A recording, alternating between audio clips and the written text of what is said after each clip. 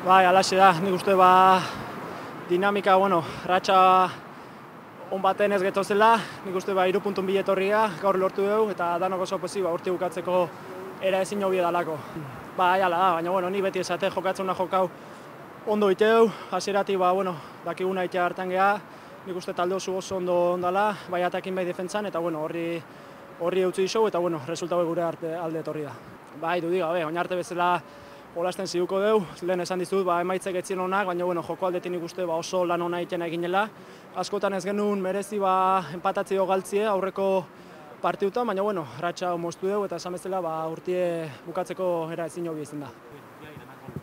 Sí, eh, la verdad que después de esas dos derrotas en esas últimas dos jornadas queríamos eh, conseguir una victoria para, para, cerrar ese capítulo y, y sobre todo pues eh, ganar el derby para, para nuestra gente. Sí, eh, teníamos claro cómo, cómo teníamos que, jugar al Atleti, ¿no? Eh, cerraditos, serios y, luego a la contra pues creo que hemos tenido eh, bastantes oportunidades y al final pues eh, una la hemos materializado que era lo importante. Sí, eh, ahora que hemos acabado el año con victoria queremos empezarlo con victoria por supuesto.